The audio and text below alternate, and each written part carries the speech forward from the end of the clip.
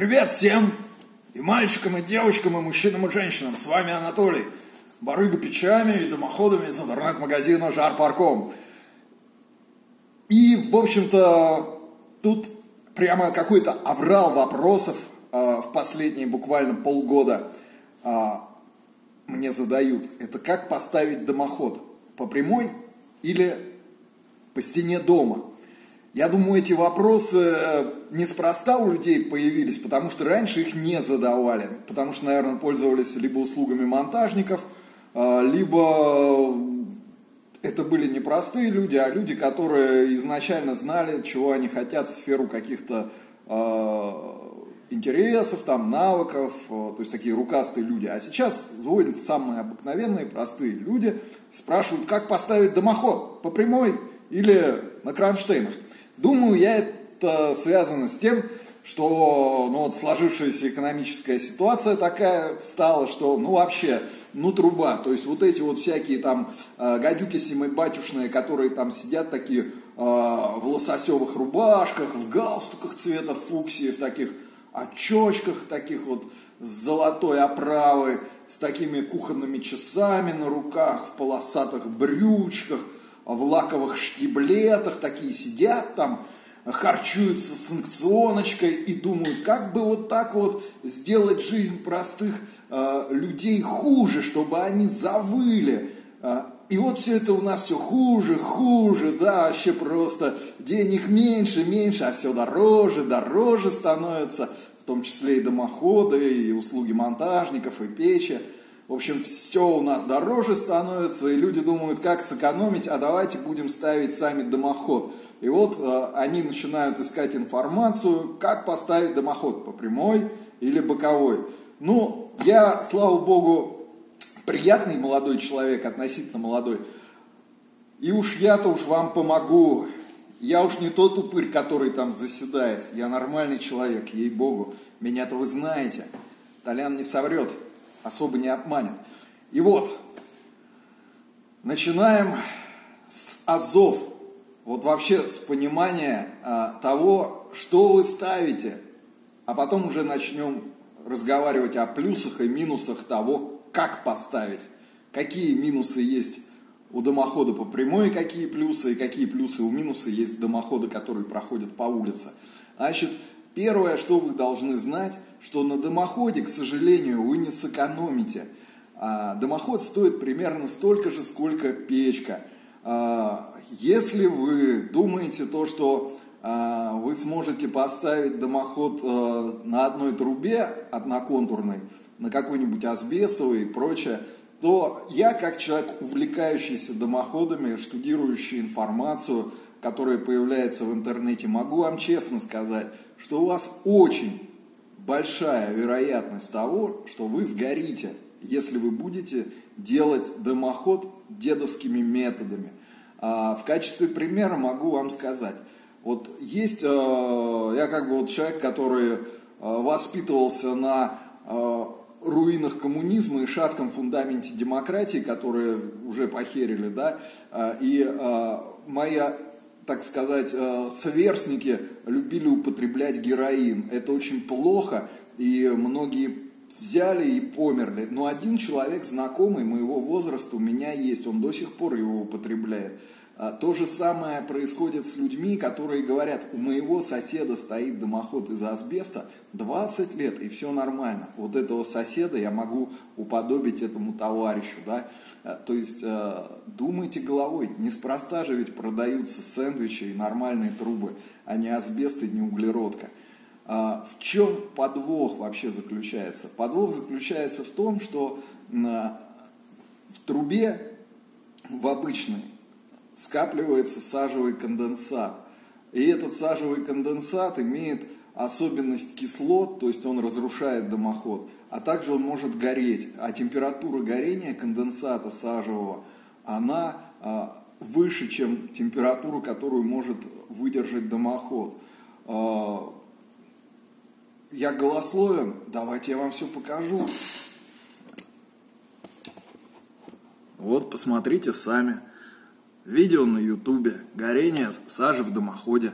Начинается у нас небольшое горение и переходит вот в такой факел. Видите, еще кровля начинает измягчаться. Вот в таком случае э, образуется дырка в дымоходе, скорее всего, и дымоход идет на выброс. Сами посчитайте э, стоимость дымохода и стоимость самого строения. Это печально, очень печально. И вот чтобы сажевого конденсата было мало, используют специальные трубы. Они называются сэндвичи. Вот такие вот двухконтурные трубы. Один контур и второй контур. Посередине находится утеплитель, который делает сэндвич термосом для того, чтобы температура газа, которая находится внизу, равнялась температуре газов, которые находятся вверху.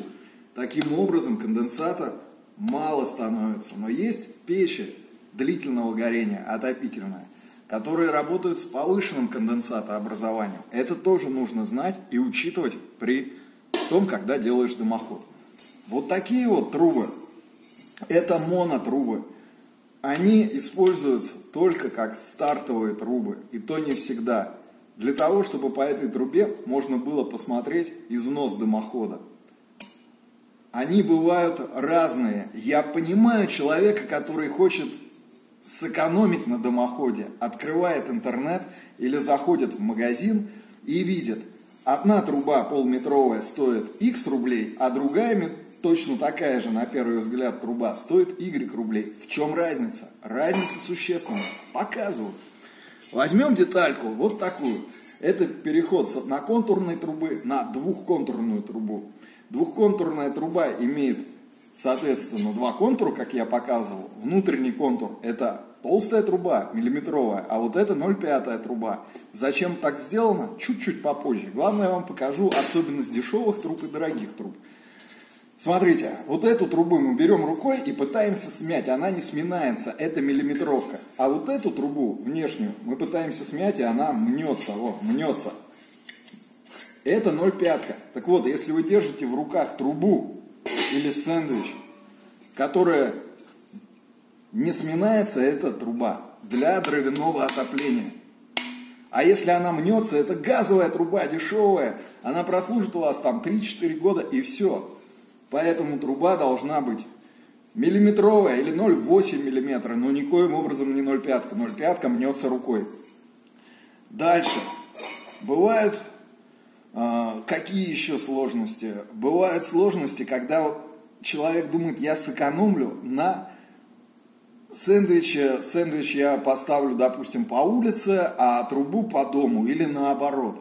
Вот у вас есть э, два должно быть понимания. Это проходной короб и то, что образуется сажа. Когда вы ставите одноконтурную трубу, сажи немерено. Когда вы ставите двухконтурную, сажи мало проход, проходной узел между потолком или между стеной. Это самая пожароопасная точка. И там должен всегда проходить сэндвич. Вот такая вот штука. Вы мне скажете, Толян, что ты мне затираешь? Все это маркетинг. Я затираю. Да я вам сейчас покажу, как я вам затираю.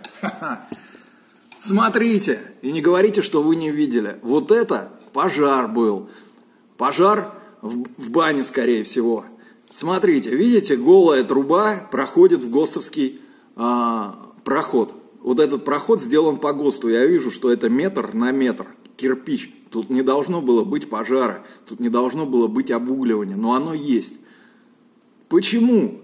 Да потому что труба голая, одностенная, и не смазана даже герметиком. То есть, видите, она вся имеет цвет побежалости, а это значит, что был подсос воздуха сюда. А подсос воздуха был, потому что трубы внутри не смазали. А трубы смазываются вот такой штукой, 1500 градусным герметиком или 1100 градусным герметиком черного цвета. Посмотрели на задницу, видите, чернота, это хороший герметик. Бывает герметик красный, 600 градусный, посмотрели на попку, он красный. Этот герметик подходит, а красный нет, он автомобильный, не держит температуры, и вонючий еще в довесок. Поэтому, чтобы не было трубы вот такой вот цвета побежалости, все внутренние стыки сэндвичей смазываются. Вот этот вот стык наносится герметик сюда, можно и сюда нанести. Тогда труба становится неразборная и нету подсоса воздуха, который образуется, когда одна труба нагрелась, а другая еще нет. Мало этого, тут должен быть стоять сэндвич. Сэндвич, ребят, тут должен стоять, чтобы вот здесь обугливания не было. Обугливание происходит через 2-3 года после того, как э, баню поставили. Если неправильно собран дымоход или неправильные материалы были использованы в коробе. Вот еще одна фотография от настенного дымохода. Все то же самое. А, кроме того, что человек подумал, что он хитрее, чем все, и вместо сэндвича решил взять а, картон базальт и обернуть трубу. Думает, а какой я умный. И набил все каким-то роквеллом. Однако, смотрите, увидели? И опять же он не смазал ничего герметиком. Почему я это знаю? Потому что вот эта вот заглушка конденсата как раз то место, где было прохождение воздуха. Почему? Потому что она белая, а дальше пошло все цветопобежалости. Это холодная часть, а это горячая. Давайте проверим. А что тут было? То же самое, через заглушку шел холодный воздух. И все это горело. Еще вот во всяких других стыках. Поэтому проход только с сэндвичем в потолке или стене или по барабану. Обязательно использовать герметик и не набивать вот этим вот делом Давайте я вам покажу, вы же мне опять не верите, что можно использовать песочек, роквелл, да? Можно использовать? Да ни черта его нельзя использовать. Используют специальные материалы. Либо вот такой материал, который зовется каменная вата без смоленистого связующего, либо вот такой материал, который называется, к примеру, суперсилка, это керамика. Почему нельзя использовать песок? Потому что это выходит у вас не проходной узел, а а, прибор для того, чтобы сварить кофе. Ой, вот. То есть реально стены обугливаться начинают. Поэтому используют, опять же, хорошие материалы. Роквелл почему не использовать нельзя? Потому что там смоленистые связующие, которые при высокой температуре просто-таки э, распадаются, и у вас выходит песочек. То же самое касается сэндвичей. Почему одни сэндвичи дороже других? Да потому что бывает набивка нормальная, а бывает набивка роквеллом, когда у вас половина сэндвича а, песочком забита, а половина пустая. Вы берете палец и так стучите тук-тук, глухой звук, а тут стучите тук-тук, звонкий звук. Это значит, у вас тут пустоты. Это значит, фиговый сэндвич вы купили. Дальше. Берем зажигалку и смотрим. Если вы роквелл поджжете, вы сами увидите, как он на 50% осядет. Берем вот эту вот вату. Видите? Она тоже проседает процентов на 15. Берем керамику. Она вообще не проседает, потому что это материал достаточно дорогой. С набивкой и сэндвичами, я думаю, вам все рассказал. Поэтому сейчас переходим именно к дымоходам. Вот у нас рисунок. Один дымоход прямой, другой дымоход на кронштейнах по стене. Какие есть плюсы у того и у того, какие есть минусы. Смотрите, здесь плюс следующий. Очень просто ставить. Продаете сэндвич сверху, ставится все снизу. То есть э, монтаж простой, проще, чем здесь. Здесь нужен миллиметраж, там все высчитывать. Дальше, какой здесь плюс? Здесь плюс в том, что если это э, печь длительного горения, то дымоход находится в тепле, и конденсата меньше, чем вот у такого уличного варианта. Здесь не образовывается пробка. Что так, ну или она образовывается, но не так часто. Что такое пробка? Вот здесь вот самый холодный участок, и когда печка а, длительного горения топится не постоянно, а, к примеру, на даче один раз растопили, через два дня еще раз растопили, выходит следующее.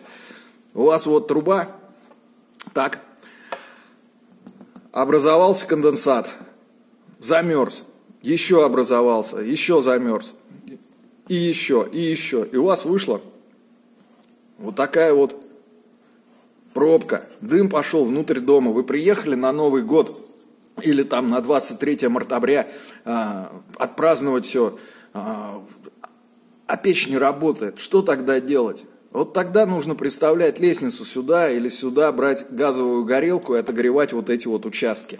Поэтому при печи с длительным горением я вам рекомендую иметь доступ к верхушке дымохода и иметь всегда газовую горелку под рукой. А, вот здесь, в таком варианте, образуется конденсата меньше, чем вот в таком варианте. Но если у вас конденсат потек, а он может потечь, то э, здесь у вас все потекло внутри дома, это минус. Здесь снаружи дома, это плюс. Дальше. Э, есть здесь проход. Здесь проход под э, крышей, ну, под чердачной, а здесь стеновой. Вот смотрите, если у вас здесь обугливание началось, куда дым идет? Дым идет вверх. Сидя в доме, вы видите дым, не видите, на улице стоя, вы видите дым, не видите. Что вы видите? Только когда пожар пошел. То есть вот эта вот э, ситуация более пожара опасная, чем вот это, потому что если здесь пошло обугливание, вы видите дым, находясь в доме, вы видите дым, находясь снаружи дома. Мало этого, вы видите весь дымоход, в каком он состоянии. Здесь вы не видите, что происходит в подчердачном помещении. Дальше. Какой здесь есть плюс? Вот этот вот монтаж стоит на 10%, ну не монтаж, а дымоход а, в комплекте стоит на 10% дешевле, чем вот здесь вот, потому что здесь используется резинка Master Flash, вот она. А здесь ее не используется, но здесь используется лишний метр сэндвича, здесь используется тройник с конденсата-сборником, и здесь используются кронштейны, что увеличивает общую стоимость. Теперь я хотел бы вам рассказать еще информации дать насчет дымоходов, черт раздери. Потому что часто вы слышите, такие мудрые штуки, что такое по дыму, что такое по конденсату. Вот смотрите, если у вас печь для бани или камин, вам вообще все равно по дыму или по конденсату у вас сборка, вы все герметиком загерметизируете и живете как, э, э, не знаю, единорос на, на приеме у патриарха. Жируете, кайфуете, вообще все отлично. Но если у вас э, печка длительного горения, то это вам очень важно знать, какой дымоход вы берете. Поехали разбираться, что такое дымоход по дыму. Это когда нижняя труба входит в верхнюю трубу, верхняя труба шире, чем нижняя труба. Что вы получаете? У вас дым идет вверх, и он не проходит через стык. Таким образом, угарного газа у вас нету. Но конденсат, который жидкий образуется, он у вас стекает и попадает на э, одну из труб, и по ней течет. Вы получаете вонючесть в доме, химический запах и черные некрасивые трубы. Есть другой вариант, вариант по конденсату, когда верхняя труба втыкается в нижнюю, нижняя шире, чем верхняя. Таким образом, дым у вас может пройти через стыки, и вы получите э, кучу задымления. Но если вы э, думаете о конденсате, то конденсат потечет просто вниз, и все будет нормально. Дальше. Вот еще картинка как э, в сказке про девочку с кувшинчиком. Либо кувшинчик, либо дудочка. Либо по конденсату, но есть вариант задымления, либо по дыму, но нету варианта задымления, но есть вариант, э, фу, если по дыму, то э, дыма нету, но есть конденсат, если по конденсату нету конденсата, но есть дым. Поэтому ставьте сэндвичи, потому что нормальные производители делают внутреннюю трубу по конденсату, чтобы конденсат не тек. А дым внешний стеной закрывает. Поэтому хороший сэндвич сделан внутри по конденсату, а внешняя часть по дыму. Единственная а, деталька, которая выходит из всего, а, выбивается из всего, это вот эта деталь. Вот эта деталь самая интересная. Вот здесь вот у нее монотруба сделана по дыму, так, а верхняя сделана, которая втыкается в сэндвич, уже нормально. Почему вот это вот низ сделан по дыму? Потому что это связано с тем, что нету единых ГОСТов, и все производители шарашат выходы у печей по-разному. И вот чтобы вот этот вот э, э, прибор мог сесть на трубу, на печную, которая выходит э, по трубу печи, э, промышленной, заводской, его делают так, чтобы он точно сел. А это можно сделать только по дыму. Соответственно, конденсат потечет вот здесь вот, на этом стыке. Поэтому стык смазывается внутри, и смазывается снаружи. Конденсат разъезд герметик через 2-3 года, поэтому нужно постоянно смазывать. Последнее, что вам хочу сказать, вот вы разобрались, как вы хотите поставить дымоход, так или так. Обязательно делайте ревизию дымохода, пробрасывайте ёршики, пробрасывайте, там, сжигайте осину с, э, этим, с картофельными очистками, но не пользуйтесь в стальных печах с стальными дымоходами специальными полежками – прожигающими, потому что они горят на высоченной температуре. Вот эти вот полежки это для кирпичных печей. Все, я вам все рассказал, коротенько. И может быть вы меня спросите, а откуда ты берешь всю эту информацию? Вот, вот все, что ты показывал. Я говорю, эту информацию я собираю, это мое хобби, по всему интернету и компилирую ее в одном месте. В рубрике «Ответы на вопросы». Вот 99% вопросов, которые задаются, на них есть ответы. Ответы все скомпилированы вот по этой ссылке. Она же внизу. Рубрика «Ответы на вопросы» на сайте Жарпарком. Все, с вами был Анатолий. Всем пока. Смотрите, подписывайтесь.